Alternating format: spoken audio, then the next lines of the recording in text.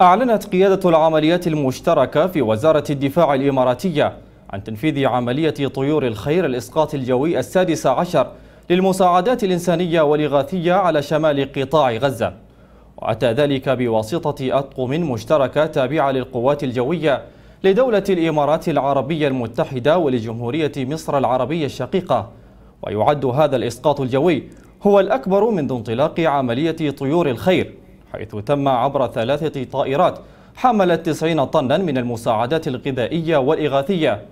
وجرت عملية الإسقاط فوق المناطق المعزولة التي يتعذر الوصول إليها شمال قطاع غزة.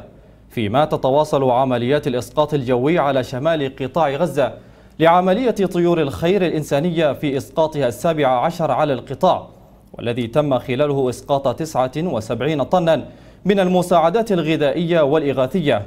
ليصل بذلك إجمالي المساعدات التي تم إسقاطها منذ انطلاق عملية طيور الخير إلى 743 طنا من المساعدات.